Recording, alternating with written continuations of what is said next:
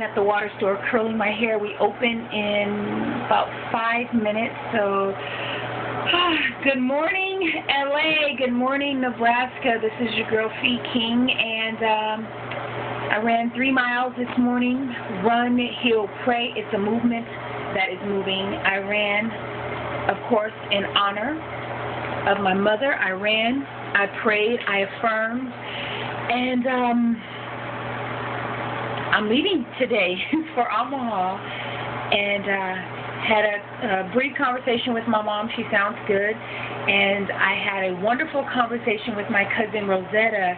And the theme for Sunday, you guys, you ladies and gentlemen, is no matter what's going on in our lives, let us all do our absolute best to stay positive and hold our head up high.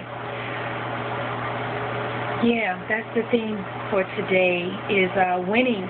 I am planning to go to Omaha to not change the world because I, I tend to want to do that. You know, I want my mom to be like me, and I want her to do everything that I tell her, and I want her to stop eating pork, and I want her to start drinking alkaline water, and I want all these things to reverse her cancer because I really believe that changing our diet, changing our mindset, um, living a positive life no matter what, and changing our water can cure everything that we really bring on. And uh, I know that not everyone's in that space, and I have to accept that, and I just have to love her and uh, lead by example. And so pray that I can be successful in doing that. This is your girl, Fee King, um, leaving for Omaha in about four hours, and I want to run and pray for you while I'm there because I will be running and praying all day, every day. I plan to put in 40 miles while I'm away because um, I, need to. Uh, I need to win. I need to help my mom